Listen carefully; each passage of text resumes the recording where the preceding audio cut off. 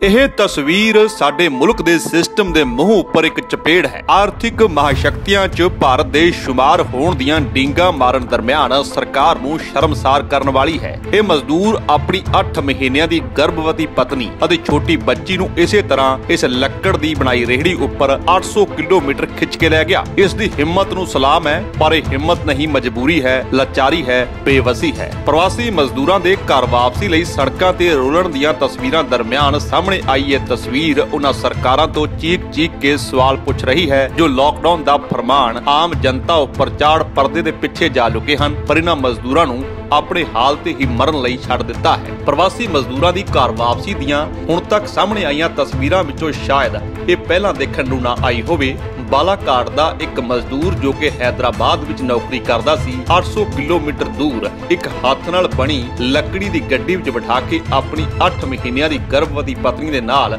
2 ਸਾਲ ਦੀ ਬੇਟੀ ਨੂੰ ਲੈ ਕੇ ਗੱਡੀ ਖਿੱਚਦਾ ਹੋਇਆ ਬਾਲਾਘਾਟ ਪਹੁੰਚ ਗਿਆ। ਕੁਝ ਦੂਰ ਤੱਕ ਤਾਂ ਇਸ ਮਜ਼ਦੂਰ ਨੇ ਆਪਣੀ ਬੇਟੀ ਨੂੰ ਗੋਦ ਵਿੱਚ ਲੈ ਕੇ ਚੱਲਣਾ ਸ਼ੁਰੂ ਕੀਤਾ ਸੀ, ਪਰ ਰਸਤਾ ਲੰਬਾ ਹੋਣ ਦੇ ਕਾਰਨ ਰਸਤੇ ਵਿੱਚ ਹੀ ਲੱਕੜ ਅਤੇ ਬਾਂਸ ਦੇ ਟੁਕੜੇ ਬੰਨ੍ਹ ਕੇ ਇੱਕ ਗੱਡੀ ਬਣਾਈ ਅਤੇ ਉਸ ਨੂੰ ਖਿੱਚਦਾ ਹੋਇਆ ਮਾਸੂਮ ਬੇਟੀ ਦੇ ਲਈ 800 ਕਿਲੋਮੀਟਰ ਦੂਰ ਪੈਦਲ ਚਲਾ ਗਿਆ।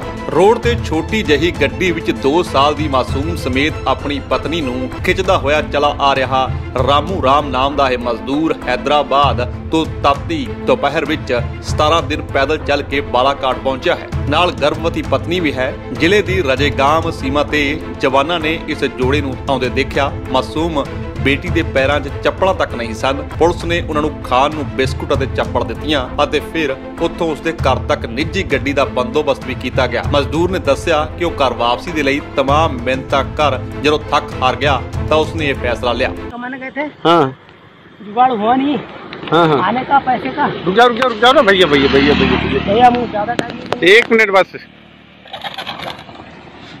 कहाँ रहते आप कुंडा वगैरह पे कहाँ से आना हो रहा है हैदराबाद से आ रहे हैं। तो कोई शासन ने आपको कोई व्यवस्था नहीं दी क्या? बिल्कुल नहीं। किसी भी तरीके से? सिर्फ़ गोंदे में एक बार खाना मिला हमको। हाँ। बाकी कहीं पे हमको कुछ नहीं मिला। यहाँ पे खाना मिला तो वो खाना भी खाना योग्य नहीं था। कहाँ? रजे गाँव में। तो आपकी मेडिकल जाँच वगैरह हो गई? हाँ हो गई।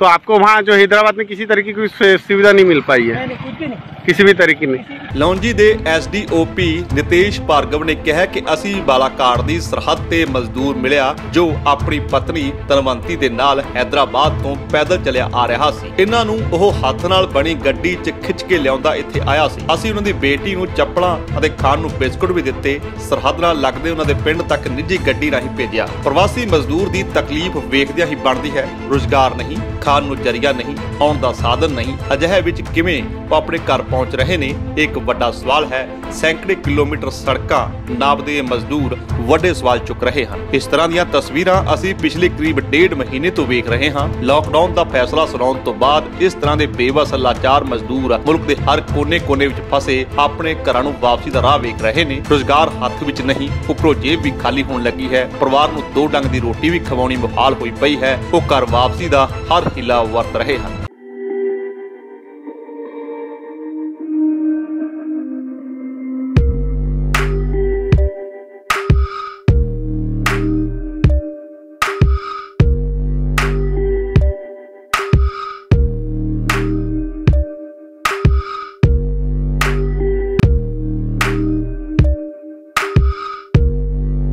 ਸਾਡੇ YouTube ਚੈਨਲ ਨੂੰ ਸਬਸਕ੍ਰਾਈਬ ਕਰੋ।